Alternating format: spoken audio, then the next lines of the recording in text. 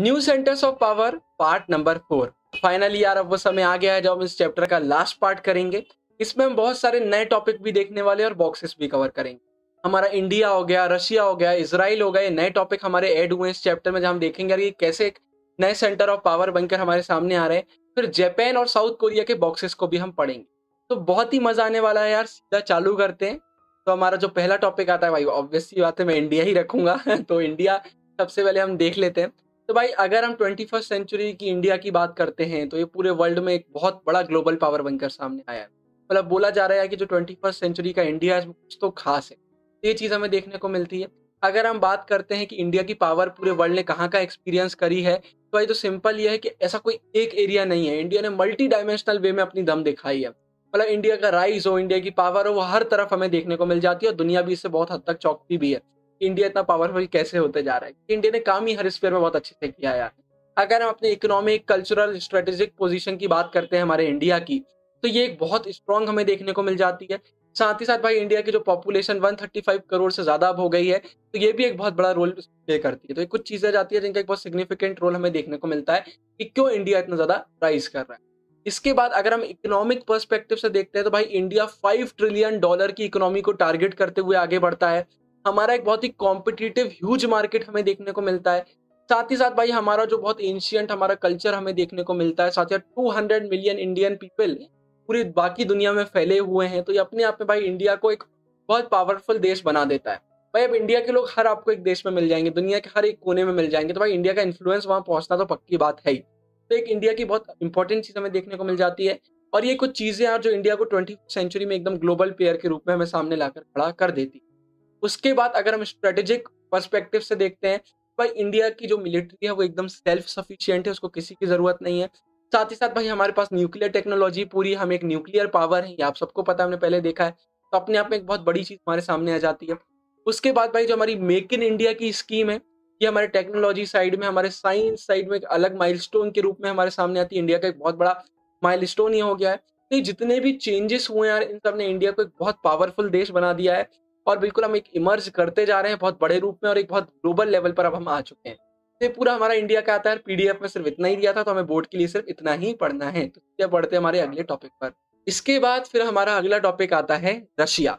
चाहे इंडिया हो, चाहे रशिया हो, चाहे इसराइल हो, इन सब के बारे में हमें पीडीएफ में पूरा दिया हुआ है तो वही मैं आपके लिए लेकर आया हूँ। तो भाई अगर रशिया की हम बात करते हैं तो सोवियत यूनियन के डिसइंटीग्रेशन के बाद ये सबसे लार्जेस्ट पार्ट हमारा बचता है।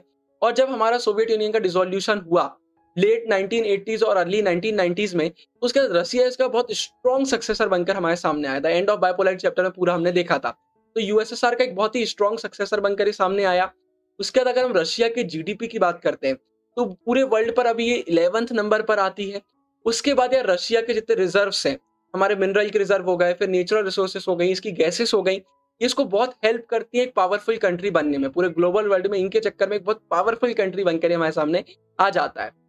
फिर इसके एडिशन में अगर हम बात करते हैं तो हम सबको पता है कि रशिया एक न्यूक्लियर स्टेट है और उसके पास बहुत सारे सोफेस्टिकेटेड वेपन है। मतलब आप बोल सकते हैं, एकदम एडवांस्ड वेपन हमें देखने को मिल जाते हैं रशिया के पास। उसके बाद रशिया यूनाइटेड सिक्योरिटी काउंसिल का परमानेंट मेंबर है और इन जो पाँच परमानेंट मेंबर है, इनको पी फाइव बोला जाता है। तो ये इसके लिए बहुत स्ट्रॉन्ग चीज़ हो जाता है। तो भाई, इन सब फैक्टर की वजह से हमें रशिया भी एक बिल्कुल इमर्जिंग पावर के रूप में दिख रहा है। इसके बाद हमारा अगला टॉपिक आता है इसराइल भाई, अगर वर्ल्ड मैप की बात करते तो एकदम पॉइंटर्स हमें दिखता है क्योंकि इसका एरिया बहुत ज़्यादा नहीं है, लेकिन ट्वेंटी फ़र्स्ट सेंचुरी में बहुत बड़ा पावर बनकर हमारे सामने आया है। इकोनॉमी के अलावा इसकी साइंस एंड टेक्नोलॉजी डिफेंस और इंटेलिजेंस ऐसी चीज़ें हैं जिसको बहुत आगे बढ़ाती हैं। उसके बाद अगर हम वेस्ट एशियन कंट्रीज़ की बात करते हैं तो फिर एकदम ये मिडिल में लाए करता है और वहाँ की पॉलिटिक्स इतनी कुछ खास नहीं है। अभी आपने देखा होगा इसराइल के वैसे भी बहुत सारे अभी कॉन्फ्लिक्ट चल रहे थे। हमने देखा था हमास इसराइल की लड़ाई हुई थी पैलेस्टीन इसराइल कॉन्फ्लिक्ट हमने देखा। अभी रिसेंट के एग्ज़ाम्पल है, ताकि पॉलिटिक्स पहले से भी कोई इतने खास नहीं चल रहे इतनी प्रॉब्लम होने के बाद भी यार हर चीज़ को ओवरकम करते हुए इसराइल बहुत आगे बढ़ता जा रहा है।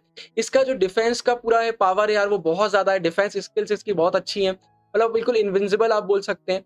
फिर टेक्नोलॉजिकल इनोवेशन बहुत देखने को मिलते हैं। इंडस्ट्रियलाइजेशन हो गया एग्रीकल्चरल डेवलपमेंट हो गया। ये सब चीज़ें इसराइल को बहुत आगे बढ़ाती डिफेंस सिस्टम से याद आया, मुझे आपने आयरन डोम के बारे में सुना होगा, अभी बहुत एकदम फ़ेमस हो गया था इसराइल का आयरन डोम तो वो एक बहुत इंपॉर्टेंट चीज़ आती है।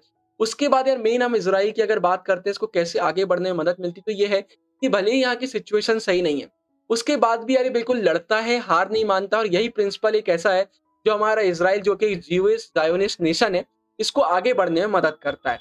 एक इसराइल की बहुत इंपॉर्टेंट चीज़ हमारे सामने आती है। भाई, अगर हम इसराइल की एकदम जनरल लेवल पर बात करते हैं तो पूरे ग्लोबल लेवल पर ये बहुत बड़ा इन्फ्लुएंस करता है बड़े पॉलिटिक्स लेवल पर काम करता है। लेकिन अगर मेनली अगर हम एक पर्टिकुलर एरिया की बात करते हैं तो जो हमारा Arab dominated west Asian politics है, वहाँ पर भी हमें इसराइल का बहुत बड़ा रोल देखने को मिल जाता है। मतलब पूरे वर्ल्ड को यार ये इन्फ्लुएंस कर रहा है और बहुत ही बड़ी पावर के रूप में इमर्ज ये हो रहा है। तो ये पूरा हमें इसराइल को देखने को मिलता है। इसी के साथ यार हमारे नए टॉपिक खत्म होते हुए हम बॉक्सेस करेंगे। सबसे पहले हम जापान करेंगे, उसके बाद हम साउथ कोरिया करने वाले। तो भाई कुछ ऐसी जैपनीज बहुत फ़ेमस ब्रांड्स है जिनका नाम तो आपने सुना ही होगा। Sony Panasonic Canon Suzuki Honda Toyota Mazda ये ऐसे नाम है जो सबने सुने और इनका रेपुटेशन ही यही यार कि बहुत हाई टेक्नोलॉजी के प्रोडक्ट ये बनाते हैं। तो जापान यार समय के साथ बहुत आगे बढ़ते हुए हमको दिखा जा रहा है। अगर हम जापान की बात करते तो इसका नेचुरल रिसोर्सेज बहुत कम है। इसको मेनली अपने रॉ मटेरियल जो है वो इम्पोर्ट कराने पड़ते हैं, लेकिन उसके बाद भी सेकेंड वर्ल्ड वॉर खत्म होने के बाद इसका जो प्रोग्रेस है वो बहुत तेज़ी से आगे बढ़ा है। देखिए, बहुत अच्छी चीज़ हमें जापान के बारे में देखने को मिलती है। अगर हम जापान की बात करते हैं तो ये ओ e इसका फुल फॉर्म होता है organisation for economic cooperation and development इसका ये मेंबर बना 1964 में। उसके बाद 2017 की अगर हम बात करते हैं यार तो थर्ड लार्जेस्ट इकोनॉमी है पूरे वर्ल्ड की, और आगे अगर हम बात करते हैं जी सेवन की, जो कि एक पूरा ग्रुप है बड़ी बड़ी कंट्री है, उसका एक फोरम है पॉलिटिकल फोरम है। तो अगर हम उसकी बात करते हैं तो एशिया का एक लौता ये मेंबर है। एशियन एक लौता जापान हमें जी सेवन में मेंबर देखने को मिल जाता है। और पॉपुलेशन की अगर बात करते हैं तो पूरे वर्ल्ड में इलेवेंथ नंबर पर इसकी पॉपुलेशन आती है। उसके बाद यार जापान की और भी अगर हम बात करें तो जापान एक मात्र ऐसी कंट्री है जिसे न्यूक्लियर बॉम्ब का सामना करना पड़ा था। आप सबको पता है यूएसए ने जापान की को दो सिटी हिरोशिमा और नागासाकी में बॉम्ब गिरा दिए थे। एक अकेला है यार जिसको इसका सामना करना पड़ा था। बहुत ज़्यादा डिस्ट्रक्शन यहाँ पर हुआ था। लेकिन उसके बाद भी यार ये बहुत ओवरकम करके अब आगे बढ़ा है। अगर हम यूएन की बात करते हैं तो सेकेंड लार्जेस्ट कॉन्ट्रीब्यूटर है उसके रेगुलर बजट में। ओवरऑल बात करते तो ten percent budget contribution Japan का रहता है यूएन में। तो ये इसकी में बहुत खासियत देखने को मिलती है। उसके बाद जापान का यूएस के साथ 1951 से एक सिक्योरिटी अलायंस भी चलता है। लोग सिक्योरिटी का पूरा एक अलायंस बनाए हुए हैं। फिर इसके बाद यार अगर हम आर्टिकल नाइन की बात करते हैं जापान के कॉन्स्टिट्यूशन की तो उसमें साफ़ साफ़ दिया हुआ है कि जापान के जितने भी लोग हैं, वो वॉर को हमेशा के लिए त्यागते हैं। उनका कहना है कि इंटरनेशनल डिस्प्यूट के लिए धमकी देना कॉन्फ्लिक्ट करना, लड़ाई करना बिल्कुल भी सही नहीं है। मतलब आप सोचिए यार एक ऐसी कंट्री जिस पर एटॉमिक बॉम्ब गिरे वो इतनी अच्छी बात कर रहे हैं। मतलब समझ में आता है जापान एक आगे बढ़ रहा है तो उसके रीजन क्या है? ये चीज़ हमें देखने को मिलती है। उसके अगर हम जापान के मिलिट्री एक्सपेंडिचर की बात करते हैं तो उनके जीडीपी का सिर्फ़ एक परसेंट है। लेकिन उसके बाद भी वर्ल्ड पर पूरे सेवेंथ लार्जेस्ट नंबर पर ये आ जाता है। तो इतना ही पूरा हमारा जापान के बारे में आता है। यार, आप मुझे कमेंट में बताइए कि आपका क्या मानना है, क्या जापान एक बहुत बड़ी पावर बनकर हमारे सामने आ सकता है फ्यूचर में या नहीं आ सकता है? इसके बाद अब हमारा अगला टॉपिक आता है साउथ यार सेकेंड वर्ल्ड वॉर जब एंड हुई तो उसके बाद हमारा कोरियन पेनिनसुला को दो पार्ट में डिवाइड कर दिया गया था थर्टी एट पैरल के साथ में। अभी थर्टी एट पैरल क्या होता है यार? ये लेटीट्यूड को नाम दिया गया है, जो कि रफली हमारे साउथ कोरिया और नॉर्थ कोरिया को काटता है, उसके ऊपर से निकलता है उनकी जो डिमार्केशन लाइन है वहाँ से। इतना हमें जानना बहुत ज़रूरी है, हालाँकि थर्टी एट पैरल आपको बोर्ड में नहीं आने वाला है, मैंने सिर्फ़ एक्स्ट्रा नॉलेज के लिए आपको बता दिया। तो भाई, जब इसको दो पार्ट में डिवाइड किया गया तो जो साउथ कोरिया है उसको रिपब्लिक ऑफ़ कोरिया भी बोला जाता है और एक हमारा नॉर्थ कोरिया है, जिसको Democratic People's Republic of Korea भी बोला जाता है। फिर इसका मेन प्रॉब्लम ये हुआ यार कि 1950 से 1953 में हमारी कोरियन वॉर चली। हमने अरीनाज ऑफ़ कोल्ड वॉर में सब चीज़ें देखी हैं। उसका जो कोल्ड वॉर का नाटक चल रहा था यार, इन सब चीज़ों ने इन दोनों के बीच में बहुत ज़्यादा राइवलरी लेकर आ गए। और अब नॉर्थ और साउथ के बीच में बहुत ज़्यादा राइवलरी देखने को मिलती थी। लेकिन इसके बाद 17 सितंबर 1991 को इन दोनों ने यूएन को ज्वाइन किया, उसके ये मेंबर बन गए। तो एक हमें थोड़ी अच्छी चीज़ देखने को मिली थी। उसके बाद अगर हम साउथ कोरिया की बात करते हैं तो एक बहुत बड़ा पावर बनकर हमारे सामने आया है एशिया रीजन में। अगर हम 1960s से लेकर 1980s के बीच की बात करते हैं तो पर बहुत ज़्यादा हमें डेवलपमेंट देखने को मिल रहा था। इसकी इकोनॉमिक पावर बहुत तेज़ी से ग्रो कर रही थी और इसी को टर्म किया गया था यार miracle on the Han river ये फ़ोटो में भी आपको हैन रिवर का आसपास का नज़ारा दिख रहा है।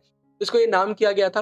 फिर ऐसा हमें ऑलराउंड डेवलपमेंट इसका देखने को मिल रहा था यार, फिर ये 1996 में e हमने भी पढ़ा था organisation for economic corporation and development उसका ये पार्ट बन गया। उसका अगर हम 2017 की बात करते हैं तो इसकी जो इकोनॉमी है, वो पूरे वर्ल्ड में इलेवंथ नंबर पर आती है, और मिलिट्री एक्सपेंडिचर की बात करते हैं तो वो टेंथ नंबर पर आती है टेंथ लार्जेस्ट उसमें आ जाती। तो ये चीज़ें हमें साउथ कोरिया के बारे में देखने को मिलती है।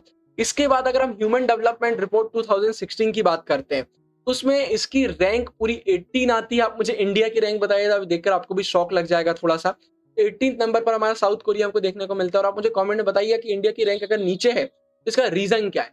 ये मैं आपसे जानना चाहता हूँ। भाई एट्टीन नंबर पर आती है।